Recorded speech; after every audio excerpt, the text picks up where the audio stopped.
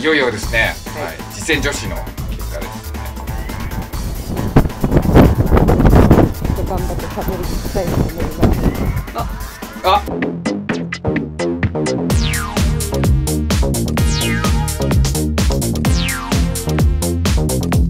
お題始まりました。むちゃチャンネルさあ今回ははい。ピチュこんにちは丸井るいです。はい、丸井さんがいよいよ合格発表最後、はい。ね2校目でございます。はいもうはい。夜だと真っ暗でもうマジでどうやって来たらいいかもわかんない。はい。本本当に夜道気をつけてください。当にびっくりしましたが無事たどり着きました。はい。では俺 それはいつも飲んでる水です。水道水です、何はい。水道水あそう水道水にこのバルサミコ酢入れて飲んでバルサミコ酢飲んでないです。はい。そんな味覚バグってないです。いやいやというか多分ねみんないや顔どうしたんっていうのが先にあるとですね。あ全然はい。えーブレイキングダウン出場おめでとうございます。っていう本当にもう一番出れなそうですよね私。殴り合いしたかのような。はい、はい。気になりますよねこれ。そまあ、それはいずれ出るかもしれないし、はい。はい、出ないかもしれません。出なかったらやばいですよね さあいよいよですね、ははい。い実践女子の結果です。和洋女子は大丈夫でしたけども。はい。それあのスキンチェッカーです。ああはいはいはい。ステマみたいになってる 大丈夫です。危ないことはしてないです。昨日じゃないですか、はいはい。発表されたの、あ今日の撮影のために見ないで置いてるんですけど。はいい、ははいはい。じゃあまあどんな感じのちょっと受験風景をまず流しますここで。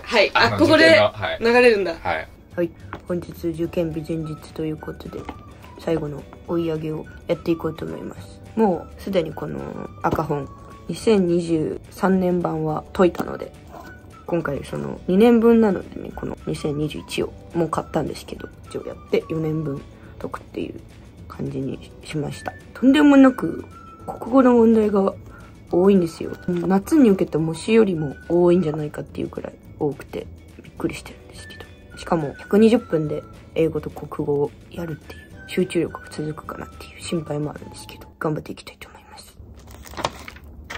ハブ語できなかった。まあ10以上これは。もう一回先生にまだ怒られてしまう。まあでももう前日なので何言ってもしょうがないということで寝ます。おやすみなさい。ありがとうございます。渋谷に着きました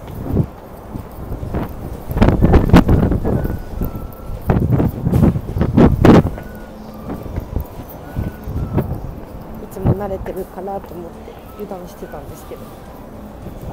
道に迷いました。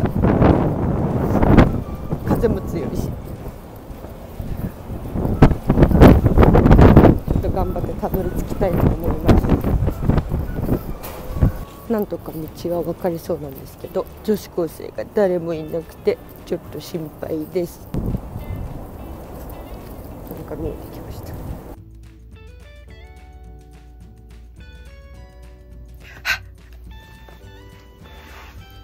受験終わりました。帰ってきて気を失っていました。120分で英語と国語どっちも解くってスタイルだったんですけどちょ国語に時間を使いすぎてしまって最後に英語の長文解いたんですけどダダダッとやるっていう感じ。8分とか6分とかで長文を解くみたいなことになってしまったのがすごい反省点なんですけど。まあ全体的に英語はねそのあ分かるなっていう感覚あんまなかったんですけど。できなかった気もあんまりなんかしないのでまあできたんじゃないかなっていう気がしてます。ほんとちょっと何を言ってるかあんまり分かってないんですけど。ひとまず無事に2つとも受験終わったので安心しています。あとは結果を待つのみなので私はとにかく今は寝たいと思います。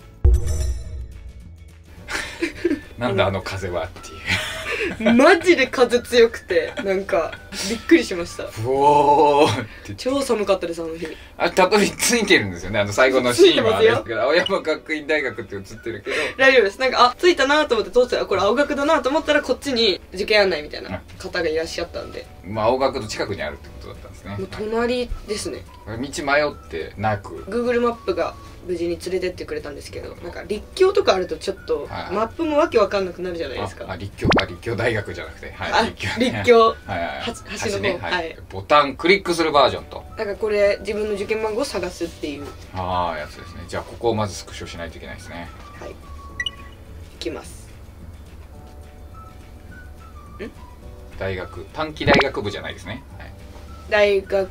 区の方ですね。はい。短期じゃないですね、はい、でこのはい受験票を入試結果。うわ PDF あ番号ほら最初に。11111016はいではい。前回のねコメント欄でねなんか抱きつけないから人形を抱いてる草みたいに。そんなん考えてないわ。おもろすごいですねみそんなそんなこと想像力が。レイちゃんに抱きつけないから俺は人形を抱いてると。クオッカそんな？いつも抱っこしてますもんねこれあべ大丈夫何にも見えてないんですよこれ。なんだこれ？何？入試型がいっぱいある。えちょっと待ってくださいこれ。合格発表じゃない。じゃなない？え？え受験者数とか書いてありますよ。合格点とか違いますよ。これじゃないよ。びっくりした。え何ですかこれ？入試結果何人合格とかじゃないですか。あら。しかも2022年度だしこれ。去年の情報。あれ？2022年23年です。あ3年なんだ私。びっくりした。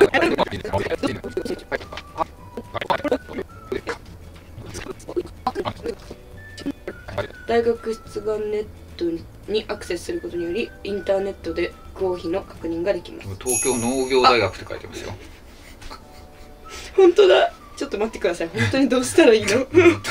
えどうしたらいいのこれ？ちょっとこれまたログインできないオチやめてくださいよ。いやどっかしらでは見れるんですよね。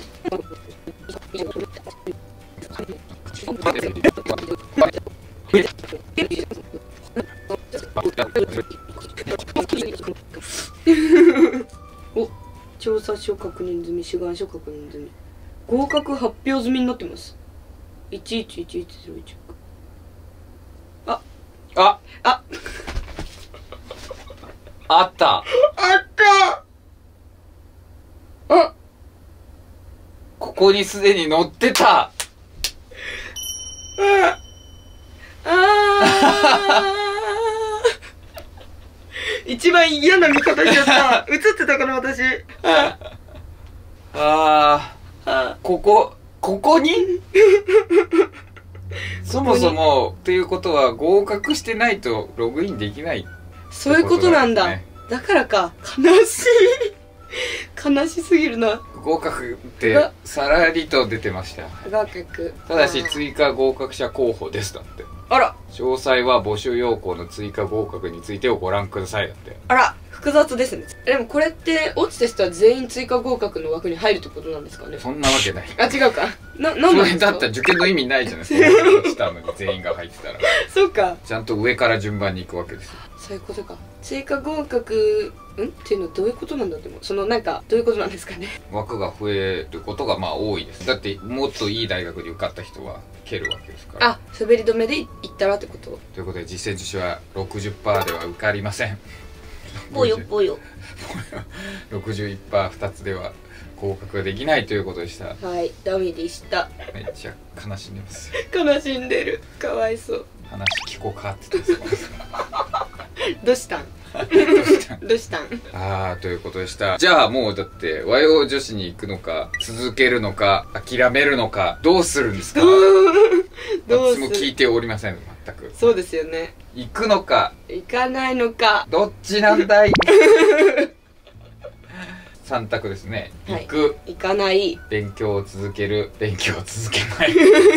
3択です。三択があるんだ。うわ難しいな。これめっちゃ難しいんですよ。ずっと考えてたんですけあどそうだったんですね。はい。もう今すぐですよね。ここで。いやまあまあまあ 今のところは、はい。えーまず大学にはい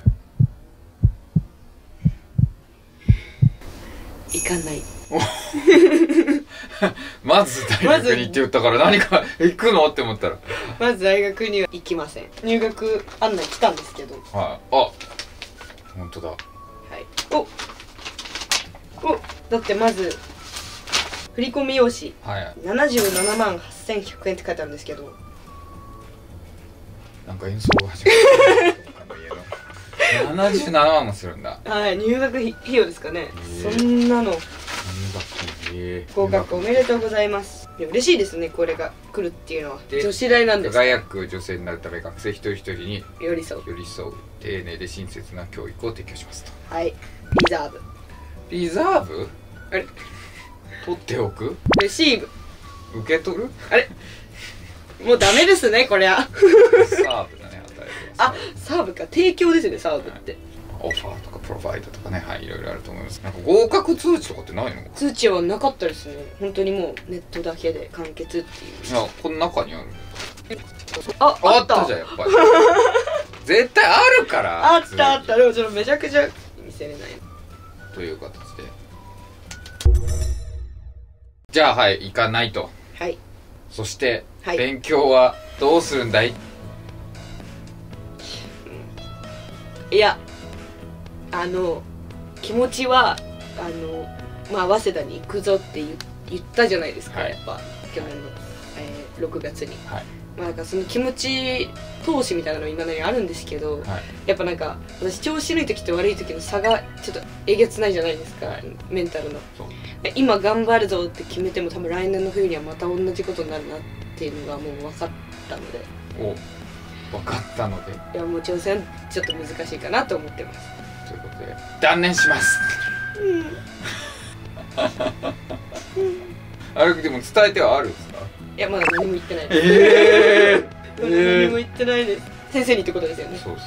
はい言えてなだってもう来年度に向けてってなっちゃってたじゃないですか。そうなんですよ。もう1年走るのはもう無理だなっていう。はい燃料が。そりゃあね。そりゃ大変ですよ勉強は、大変です。なんはか最初にこう、まあ、大学受験してみようと思ったのが結構なんていうんですか食事の場のちょっとノリみたいなとこあったじゃないですか。テニスしてた。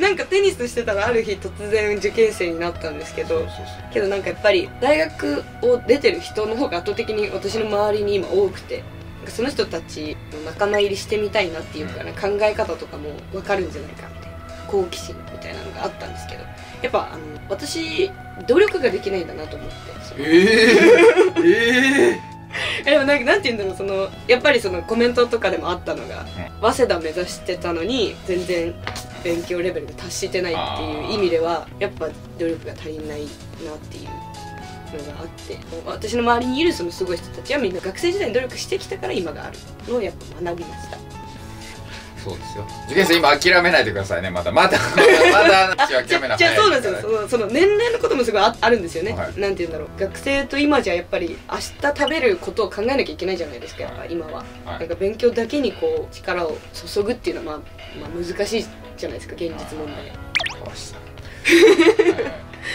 いはい、家もちゃんと家賃も払わなきゃいけないとか考えて。そうなんですよ。働きながらやるっていうのが大変なんですよ。そうなんでした。でも本当にやってよかったです受験、ええそうなんですね。はい。めちゃめちゃやってよかったです。最初はボロクソだったじゃないですか。はい。英語とかも。はい。ちょっとアルファベット書ければいいなぐらいの、はいはいはい。はい。そこから。うん中だったので。コメント欄に今もだよって書くなよ そうなんですなんか私本当に運転苦手なんですけどはい運転してる時と同じ感覚になるんですよ。英語をやってると。なんかこう分かるようになる気がしないっていうかえ。免許一応持ってるんですけどはい交通ルールがやっぱ覚えられないんですよ。ー、ほうほうほう。なんていうんだろうその試験の時にこうできたけど実践になると実践的だけにね そうです。実践女子になるとでも本当にあーってなっちゃうんですよ。ああーパニックるんでそんなんで運転しちゃダメだよそんなんじゃダメ。でもなんか本当英語の問題解いてるとその気持ちになるっていうか。でもなんかちょっと共感してくれる方いいらっしゃるんじゃないかな。この後じゃあ先生たちにお伝えしうていわー。ふわけませんので、い。これであれですか「さよなら丸い類」みたいなことで。すねーはいもう白くなって ホワイトアウト。でどれぐらいの期間に動画出てたらそしたら6月からだからもう128ヶ月くらいですかね。ああ今途中そのメンタルやられてだいぶ登場回数が減ってましたけど。ほぼなくなりましたけど。はい、まあ、8ヶ月初登場から8ヶ月経ちましたね今。ありがとうございました。ありがとうございました。本当にねセットみたいな家でね家にいる感覚じゃなくなんかの昭和のセットみたいはい。な感覚でしたけど、はい。そしたら応援していただいて皆様ありがとうございました。ありがとうございました